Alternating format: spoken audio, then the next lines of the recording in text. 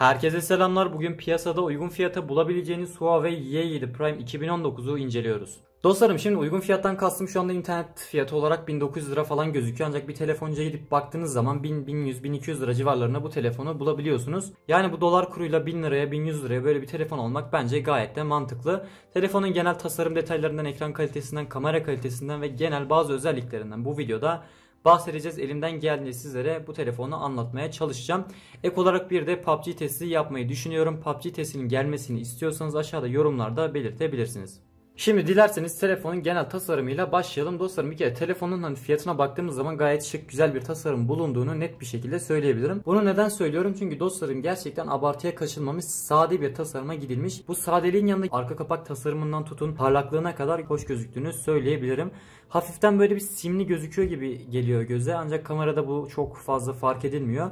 Renk kodunu tam olarak bilmiyorum ancak mavi diye geçiyordur muhtemelen. Aşağı doğru biraz koyu e, yukarı çıktığınız zaman da biraz açılan bir mavi renk bulunuyor. Biraz yeşile dönüyor böyle. Arkada bir tane parmak izi okuyucusunu görüyoruz. Şöyle çok parlak olduğu için odaklamıyor. Arkada parmak izi okuyucusunu görüyoruz. Parmak izi okuyucusunun e, okuma hızından birazdan bahsedeceğiz. Ki logo zaten biliyorsunuz e, yapay zekadan bahsediyor. Yani kameramız yapay zeka destekli bir kamera. Üst üste bulunan iki tane kamera görüyoruz. Bunlardan bir tanesi ana kamera bir tanesi portre kamerası. Yani alan ölçümü yapıyor. Uzaklık ölçümü yapıyor. Onun altında da bir flash bulunuyor. Şu an dikkatimi tek çeken şey parmak izi tutması. Çünkü gördüğünüz gibi hani parmağımı sürdüğüm zaman, dokunduğum zaman e, fazla parlak olmasından kaynaklı çok fazla parmak izi tutuyor. Zaten e, günümüzdeki birçok telefonunda sorunu bu. Tüm e, son zamanda çıkan tüm telefonlar maalesef çok parlak malzemeyle yapıldığı için çok fazla çiziliyor ve parmak izi tutuyor. Hemen aşağıya baktığımız zaman da şöyle bir Huawei logosunu ve yanında da yazıları görüyoruz dostlarım. Arka kapağımız plastik, yan çerçevemizde plastik olarak geçiyor. Yani dokunduğunuz zaman aslında böyle çok bir kalitesizlik hissi vermiyor. Yani plastik ama bir cam gibi bir his veriyor. Yanlarda zaten plastik hissini çok fazla hissettirmiyor.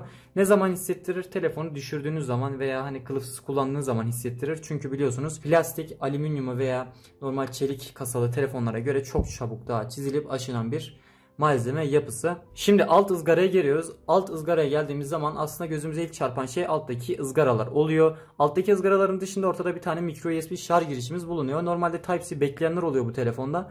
Dostlar yani bunun normal şu anda piyasa fiyatı 1900 ile 1000 lira arasında değişiyor. Bunda da Type-C beklemek pek mantıklı değil. Hani bu dolar kuruyla bu telefon bence sunabileceği birçok şeyi sunmuş.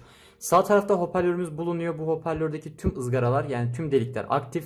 Ancak sola geldiğimiz zaman burada e, ya sağdaki ya da en soldaki e, mikrofon olarak konumlandırılmış. Gerisi tamamen hikaye yani görünüş amaçlı sadece simetri olsun diye bu şekilde yapılmış. Yani herhangi bir işlevleri bulunmuyor.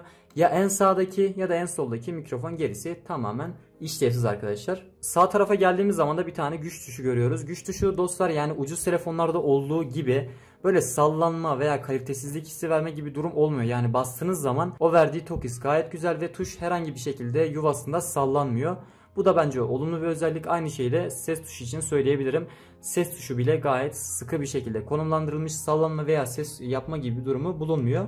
Basma hissi falan da gayet güzel. Evet üst kısmına geliyoruz. Üst kısmına geldiğimiz zaman bir tane ikinci yani gürültü engelleyici mikrofon görüyoruz. Hemen en sol tarafında da 3.5 mm'lik jack girişini burada görüyoruz. Bir de sol tarafta sim kartı girişimiz burada bulunuyor. Telefonun genel tasarım detayları bu şekildeydi. Şimdi biraz da ekran ve ekran tasarımından bahsedelim. Ekran kısmında çentikli bir tasarım görüyoruz. Zaten günümüzdeki tüm telefonlar bu çentik akımına katılmış bulunmak. Yani çentik yapısı bu şekilde damla çentik diye geçiyor. Alt çerçeveye geldiğimiz zaman alt çerçevede bir Huawei yazısı görüyoruz ve alt çerçevenin biraz kalın olduğu göze çarpıyor. Aslında çok fazla kalın değil. Hani bunu bir dezavantaj olarak değerlendiremeyiz. Burada dezavantaj olarak diyebileceğim tek şey Huawei yazısı. Bu şahsen benim pek hoşuma gitmiyor. Mesela şu an elimdeki Xiaomi Mi 9 ya da ekranda herhangi bir şekilde marka logosu, marka ismi vesaire bulunmuyor. Yani keşke telefonların ekranlarına, ekranda görünen kısımlarına logo basmasalar, isim yazmasalar. Bu bana pek hitap etmiyor eski Samsung'larda olduğu gibi. Şimdi biraz da ekran detaylarından yani ekran özelliklerinden bahsedelim. Telefonumuzda IPS LCD bir ekran kullanılmış. Bu ekranımızın boyutu 6.26 inç ve ekranımızın çözünürlüğü ise 720'ye 1520. Yani 720p ekran olması beni biraz üzdü. Yani piyasadaki birçok bu fiyattaki e, bu fiyat segmentindeki telefonlar genelde 1080p oluyor. Artık bu 720p belki hani fiyatı düşürmek içindir. Bilmiyorum ona bir şey diyemem ancak telefonda bir 1080p e, video izleyemeyeceksiniz. Veya oyun oynadığınız zaman bu 720p ekranın e, yani dezavantajını oyunda hissedeceksiniz. Eğer benim için ekran kalitesi çok önemli değil diyorsanız yine bu sizin için tercih edilebilecek bir cihazdır. Ekranımızın piksel yoğunluğundan da bahsedelim. 269 ppi bir piksel yoğunluğu bulunuyor. Piksel yoğunluğu ekran boyutuna bakıldığı zaman biraz sönük yani biraz düşük kalıyor olabilir. Ancak böyle kullandığınız zaman arayüzde gezindiğiniz zaman o pikselleri sayma gibi bir durum olmuyor. Bu da biraz zaten garibime git. Genelde düşük ppi yoğunluğuna sahip cihazlarda pikselleri sayabiliyorsunuz. Ancak bu telefonda pek bana öyle gelmedi. Yani rahatsız edici bir e, piksel yoğunluğu bulunmuyor. Gözünüzde fazla çarpmıyor. Ekran özelliklerimiz bu şekildeydi. Şimdi sizinle beraber güzel bir video açalım. İzleyelim bakalım kalite farkı çok fazla var mı? Şimdi dostlar istediğiniz gibi 4K, 1080p, 2K video açın. 720p'den yükseğini göstermez. Çünkü sonuçta 720p bir panel bulunuyor. 720p'yi seçiyorum. Şöyle videomuzu açıyorum.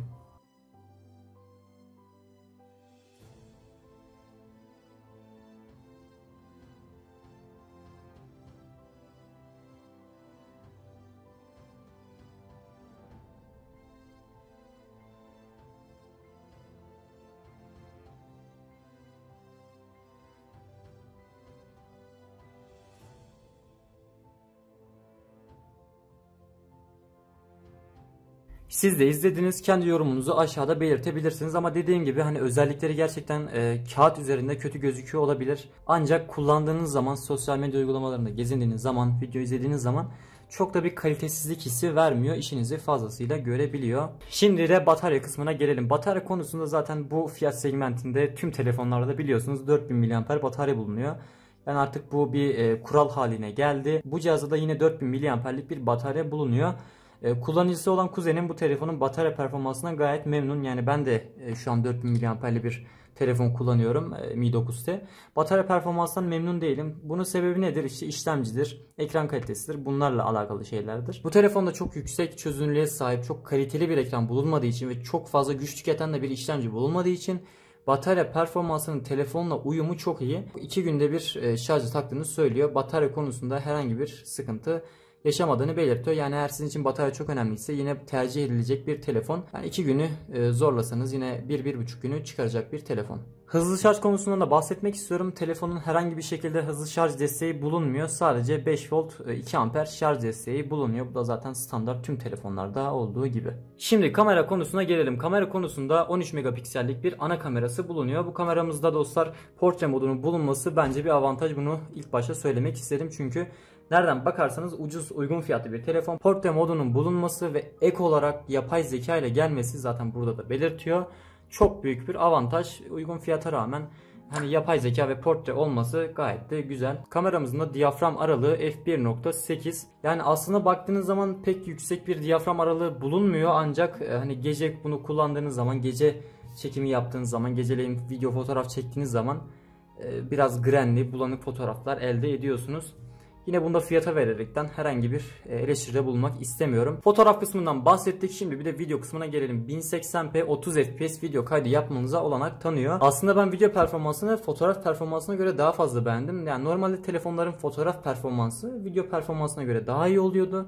Ancak bu telefonda ben te tersini gördüm. Hani belki bu benim kendi görüşümdür. Başkası böyle düşünmez ama ben video performansını şahsen beğendim. Fotoğraf performansından daha iyi geldi. Teknik özelliklerinden bahsettik. Şimdi de kameranın arayüzüne girelim ve arayüzünü kurcalayalım. Buradaki detaylardan da biraz bahsedelim. İlk açtığınız zaman fotoğraf modundan açılıyor. Fotoğraf simgemiz burada biraz garip. Sürekli hareketli bir simge burada bulunuyor. Hemen sağ tarafında kamerayı değiştirmeniz için yani ön kamerayı açmanız için bir tuş bulunuyor. Sol taraftan galeriye girebiliyorsunuz. Sol üstte bir tane göz işareti bulunuyor. Bu işareti tıkladığınız zaman sizi bir menüye aktarıyor. İşte barkod falan okutuyorsunuz. Meseleyi tam olarak anlayamadım. Yine böyle bir özelliğinde bulunması konulması iyi. Fena değil. Flash meselesinden de bahsedelim. Bir tane flash'ı bulunuyor. Şöyle sürekli açık diyelim. Flash'ın aydınlatma kalitesi geceleyin vesaire gayet yeterli. Herhangi bir sorun yaşatmıyor. Ve şurada yapay zeka ile ilgili bir logo bulunduğunu görüyorsunuz. Hemen onu açıyoruz. Gördüğünüz gibi yapay zeka etkinleştirildi. Yani yapay zekalı kamera etkinleştirildi diyor. Örnek veriyorum bir hayvan fotoğrafı çektiğiniz zaman hayvan olduğunu algılıyor ve ona göre renk ayarlıyor. Veya gökyüzünü çektiğiniz zaman gökyüzü olduğunu, araba çektiğiniz zaman araba olduğunu bu tür şeylere e, yapay zeka algılıyor ve renkleri ona göre ayarlıyor. Ve bu telefonda bahsetmem gereken en önemli şeylerden bir tanesi de ön kamerada flash bulunması. Ya buna çok fazla alışık değiliz. Bu yüzden ben işte buna denk gelince bir garipsedim. Aydınlatma kalitesi gayet detaylı ve ekranınızı tamamen beyaz yapıyor. Bu da geceleyin fotoğraf çektiğiniz zaman çok büyük bir avantaj piyasadaki birçok telefona göre. Şimdi bir de video kısmına gelelim. Video kısmını da şöyle ön kamerada görüyorsunuz. Aslında ön kameranın video performansı da fena değil. İşinizi görecek bir seviyede. Arka kameranın video performansını göstereyim. Fiyatına göre bu telefonda çok iyi videolar çekebiliyorsunuz. Bu benim kendi görüşüm. Yani herhangi bir şekilde görüntü kalitesini falan bozmuyor. Benim hoşuma gitti. Telefonun temel donanım özelliklerinden bahsedelim. İşlemciden başlıyorum.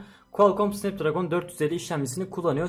8 çekirdekli bir işlemci ve maksimum frekans olarak da 1.8 GHz hızda çalışabiliyor. Grafik belleğine baktığımız zaman da Adreno 506 grafik belleğini kullanıyor ve 650 MHz hızda da çalışıyor. CPU'muzun üretim teknolojisi burada 14 nanometre. Antutu skoruna baktığımız zaman da 73.400 puanla bizi karşılıyor. Aslına bakarsanız telefonun donanımı çok zayıf değil, çok yüksek değil. Yine fiyatıyla kıyasladığımız zaman ortalama denilebilecek bir donanımı bulunuyor. Bahsetmeyi de unuttum. 3 GB RAM, 32 GB daha dahil depolama alanına sahip. Hafıza kartı özelliği bulunuyor. Yani hafıza kartı takabiliyorsunuz ve 512 GB'a kadar hafıza kartı desteğini sizlere sunuyor. Bu bence iyi olmuş. Günümüzdeki birçok telefonda hafıza kartı girişi bulunmuyor. Ancak bu telefonda bulunması çok iyi bir özellik. Telefona zaten PUBG testi yapmayı düşünüyorum. Bu donanımla PUBG hangi yerlerde açacak? Acaba kasacak mı, donacak mı?